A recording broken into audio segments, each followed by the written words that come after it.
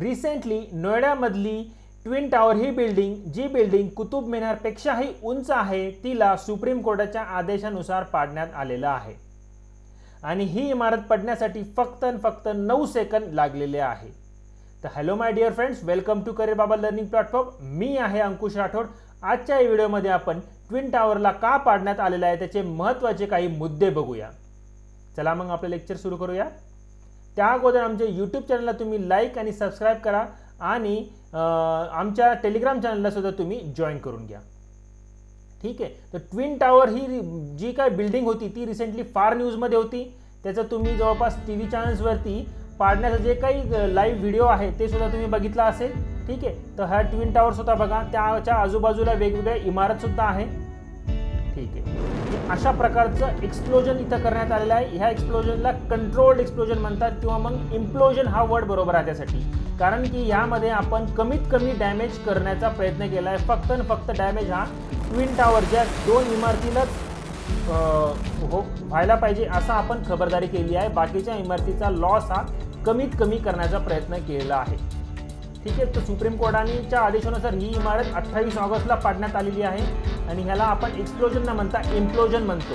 Implosion आणि यामध्ये सदुतीस शे सदुतीस शे म्हणजे तीन हजार सातशे के जीचं एक्सप्लोजिव्ह आपण याच्यामध्ये वापरले आहेत. आणि तेवढा वापर करून ती पूर्ण बिल्डिंग ही डिस्ट्रॉय केली आहे. त्यामध्ये जवळपास जो काही डिस्ट्रॉय केल्यानंतर जो काही डेब्रिस होता तो जवळपास ऐंशी हजार टनचा डेब्रिस याच्यामध्ये तयार झालेला आहे. ठीक आहे? डेब्रिसचीच कॉस्ट जवळपास पंधरा कोटीची डेब्रिस आहे. कारण की त्यामध्ये मेटल्स रॉड्स वगैरे भरपूर होते. ठीक आहे? तर वीस कोटी खर्च आला आहे त्यामध्ये पंधरा कोटी जवळपास मेटल्सनी इकडूनच कंपनी ही रिकवर करणार आहे आणि पाच कोटी बिल्डरकडून रिकवर करणार आहे. तर ही जवळपास अशा प्रकारचं एक्सप्लोजन करून ह्याला पाडण्यात आलेलं आहे. ठीक आहे? आणि पाडल्यानंतर इथं जवळपास पूर्ण जवळपासच्या एरियामध्ये धुळीचं साम्राज्य आपल्याला बघायला मिळालं होतं. ते जवळपास एक दोन दिवस तिथं जवळपास धुळीचं साम्राज्य होतं. ठीक आहे? आणि त्यानंतर हे एक्सप्लोजन फायनल झाल्यानंतर तिथलच्या यस तिथलच्या रेसिडेंट्सला नऊ वर्षाची ही लढाई जिंकल्याचा आनंद मिळालेला आहे. कारण की ते सोसायटीमधल्या रेसिडेंटनी ही लढाई खूप मोठी म्हणजे नऊ वर्षापासूनची ही लढाई ते लढत आलेले आहे. ठीक आहे? तर हे वेगवेगळ्या कोर्टामध्ये ते गेलेत. अलाहाबाद कोर्टामध्ये त्यांनी केलं गेले होते नंतर सुप्रीम कोर्टामध्ये गेली नंतर फायनली ही बिल्डिंग एवढ्या बऱ्याच काळानंतर ही पाडण्यात आलेली आहे. तर आपण ह्याचा पूर्ण बॅकग्राऊंडपासून सुरुवात करूया. ॲक्च्युली काय काय वेग त्याचं बॅकग्राऊंड होतं सुरुवात कुठून झाली होती? तर सुरुवात झाली होती नोएडामधली एक कंपनी सुपरटेक लिमिटेडपासून. सुपरटेक लिमिटेड ह्या कंपनीने एक प्लान तयार केला केला होता. त्यामध्ये त्यांनी सुपरटेक एमराल्ड कोड अशी एक सोसायटी बांधली होती. त्यामध्ये त्यांनी चौदा टावर्सचा आणि नऊ फ्लोअर्सचा प्लॅन तयार केला होता. किती? चौदा बिल्डिंगचा नऊ फ्लोअर्सचा प्लॅन तयार केला होता. त्यामध्ये तीन चार पाच बी एच केचे फ्लॅट्स होते. त्या एवढ्या फ्लॅटची सध्याच्या व्हॅल्युएशननुसार तिथे एक ते करोड ते तीन करोडची जवळपास प्रत्येक पर फ्लॅटची किंमत होती. ठीक आहे? आणि तिथं त्यांना गार्डन स्पेस पण त्यांना त्यांना क्लेम केला गेला होता. वेगवेगळ्या फॅसिलिटीज क्लेम केल्या गेलेल्या होत्या. ठीक आहे? तर तेथीलच्या रेसिडेन्सी नंतर इथलचे फ्लॅट्स वगैरे परचेस केले आणि तिथे त्यांनी राहायला सुरुवातसुद्धा केलेली होती. आणि जिथं गार्डन क्लेम केला केला होता तिथं त्यांनी नंतर बिल्डर्सनी ट्विन टावर सध्या कन्स्ट्रक्शन करायचा प्रयत्न केला नंतर. काही काळानंतर ठीक आहे? तर हा जो प्लॅन होता ओरिजिनल तो नोएडा ऑथॉरिटीने सुद्धा पास केलेला होता ओरिजिनल प्लॅन सुद्धा. आणि हे जो काही इमरल्ड हा इमरल्ड कोर्ट जो काही हाऊसिंग सोसायटी सोसायटी आहे ती लोकेटेड होती प्राईम लोकेशनला म्हणजे नोएडा आणि ग्रेटर नोएडाच्या एक्सप्रेस वेवरती होती. ठीक आहे? नोएडाचं तुम्हाला लॉंग फॉर्म सुद्धा माहीत असेल new Okhla industrial development authority ठीक आहे? आणि हे यूपीमध्ये आहे. तर ओरिजिनल प्लॅननुसार असा असा चौदा बिल्डिंग टॉवर आणि नऊ फ्लोअर्स क्लेम होते. पण त्यानंतर बिल्डर्सनी दोन हजार पाचमध्ये त्याच्यामध्ये काही चेंजेस केले. त्याच्यामध्ये त्यांनी ट्विन टावर्सचा सँक्शन करून घेतलं चोवीस फ्लोअरचा जिथं गार्डन स्पेस ॲक्च्युली ओरिजिनल प्लॅनमध्ये होतं. ठीक आहे? आणि दोन हजार बारापासून मग त्यांनी अजून चेंजेस केले. त्यामध्ये त्यांनी चौदा टावर्स आणि नऊ फ्लोअर्सच्या ऐवजी पंधरा टावर्स आणि अकरा फ्लोअर्सचं त्यांनी पास करून घेतलं नोएडा ऑथॉरिटीकडून आणि ट्विन टावर्सचे फ्लोअर्ससुद्धा त्यांनी वाढवले चाळीस फ्लोअर्स तर हे सर्व त्यांनी नोएडा ऑथॉरिटीकडून पास करून घेतले. आणि त्यानंतर तिथं जेव्हा कन्स्ट्रक्शन सुरू झालं तिथलच्या रेसिडेंटला नंतर ते चीट केल्यासारखे फील झालं कारण की त्यांना ओरिजिनली क्लेम केलं गेलं होतं. काय? तिथं गार्डन क्लेम केलं गेलं होतं. जिथं ट्विन टावर आहे तिथं ॲक्च्युली गार्डन क्लेम केलेलं होतं. आणि जिथं ट्विन टावर ते उभारणार होते त्यानंतर ते सोसायटीची कॅपॅसिटी सुद्धा वाढणार होती. हजार फ्लॅट्स नवीन येणार होते हजार फॅमिली अजून ॲड होणार होते तेवढ्या स्पेसमध्ये ठीक आहे? त्या ओरिजिनली तिथं सहाशे फ्लॅट्स होते. त्यानंतर अजून हजार तर मग ते पूर्ण सोसायटीची त्यांची काय झाली होती? गर्दी झाली असती. ठीक आहे? आणि त्यांना जो काही स्पेस त्यांनी क्लेम केला गेला होता ओरिजिनली त्यांना तो मिळाला मिळाला नसता. आणि त्यामध्ये बिल्डिंग नॉर्म सुद्धा त्यांनी फॉलो नाही केले. त्यांनी जो काही नियरेस्ट बिल्डिंगचा जो काही डिस्टन्स होता तो फक्त नऊ मीटर ठेवला. ॲक्च्युली नॉर्मनुसार सोळा मीटरच पाहिजे. ठीक आहे? तर असे वेगवेगळ्या बिल्डर्सनी चेंजेस करून घेतल्या घेतले. चेंजेस केले आणि त्यांनी वेगवेगळ्या ऑथॉरिटीकडून सँक्शनसुद्धा करून घेतले. ठीक आहे? आणि मग तिथलच्या रेसिडेंट्सनी काय केलं? कंप्लेंट केली. कंप्लेंट कुठे केली? सुरुवातीला बिल्डरला कंप्लेंट केली पण बिल्डर काय ऐकलं का? नाही. तर बिल्डर नाही ऐकला त्यानंतर मग त्यांनी नोएडा ऑथॉरिटीला कंप्लेंट केली. नोएडा ऑथॉरिटी सुद्धा त्यांनी नोएडा ऑथॉरिटीजनी सुद्धा इथलच्या लोकांचं काहीच ऐकलं नाही. मग त्यानंतर तिथलच्या रेसिडेंटनी काय केलं? अलाहाबाद हायकोर्टमध्ये नंतर त्यांनी पी आय एल दाखल केली.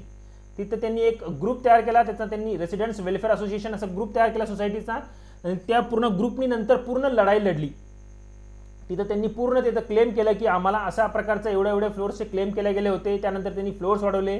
आमचा व्ह्यू ब्लॉक केला. ते जिथलच्या बिल्डिंगच्या तो काय समोरचे विंडो होते. ते विंडो नंतर लगेच त्यांना काय दिसलं? ट्विन टावरची बिल्डिंग मोठी बिल्डिंग ठीक आहे? तिथं त्यांचा व्ह्यू ब्लॉक झाला. तिथं सोसायटी वाढेल तिथं फॅमिली वाढेल तिथं लोड वाढेल. ठीक आहे? त्यांना जो काही क्लेम केला गेला होता सोसायटीना तर तो पूर्ण तो बिल्डर फॉलो करत नव्हता. त्यानुसार कोर्टनी तिथलची जी काही बिल्डिंग ते ट्विन टावर कन्स्ट्रक्ट करत होते ते पूर्ण डिमॉलिश करण्याचा ऑर्डर दोन हजार चौदालाच पास केला गेला होता. अलाहाबाद हायकोर्टचा दोन हजार चौदाचाच पास होता की त्यांनी डिमॉलिश करावे. पण बिल्डर होता मोठा तो काय मानणार होता का नाही? त्यांनी नोएडा ऑथॉरिटीला पैसे पैसे खाऊ घातले. त्याला वाटले की आता आपण कन्स्ट्रक्शन करत राहू बॅकग्राऊंडमध्ये कोर्ट काही करणार नाही. ठीक आहे? तर त्याने काय केलं? मग कोर्टाच्या आदेशांविरुद्ध त्यांनी सुप्रीम कोर्टामध्ये धाव घेतली. ठीक आहे? सुप्रीम कोर्टामध्ये धाव घेतली. तर सुप्रीम कोर्टामध्ये सुद्धा हा केस खूप काळ चालला. त्यानंतर जवळपास सात वर्ष हा केस चालला. पुढचे सात वर्ष केस चालला आणि त्यानंतर सुप्रीम कोर्टाने ही ऑर्डर पास केली की नोएडा ऑथॉरिटी आणि सुपरटेक लिमिटेड ही जी कंपनी आहे बिल्डर आणि नोएडा ऑथॉरिटी दोन्ही याच्यामध्ये इलिगल ॲक्टिव्हिटीमध्ये गिल्टी आहेत. नेफ्रियस कॉम्प्लेक्सिटी आहे म्हणजे गिल्टी आहेत. त्यांनी चुकीचे वेगवेगळे डिसिजन घेतले गेलेले आहेत. त्यामध्ये दोन्ही सुद्धा दोषी आहेत. बिल्डिंग नॉर्म सुद्धा फॉलो नाही केले त्यांनी. जसे की डिस्टन्स होतं नियरेस्ट डिस्टन्स नऊ मीटर्स घेतलं आहे त्यामध्ये. ॲक्च्युली मिनिमम सोळा मीटर पाहिजे होती. बिल्डिंग नॉर्म सुद्धा आणि जे काही रेसिडेन्सला क्लेम केलं गेलं होतं गार्डन ते सुद्धा तिथं अवेलेबल नव्हतं. म्हणजे वेगवेगळ्या जे काही नॉर्म्स होता ते फॉलो केले नव्हते आणि जे काही गार्डन होते रेसिडेन्सला डी तो सुद्धा अवेलेबल नव्हता. त्यामुळे सुप्रीम कोर्टाने काय केलं तिथं? डेमोलिश द बिल्डिंग असं ऑर्डर केलं आणि ते डेमोलिश करण्याचं एक्सपेन्स आहे. हे स्वतः बिल्डर पे करणार आहे.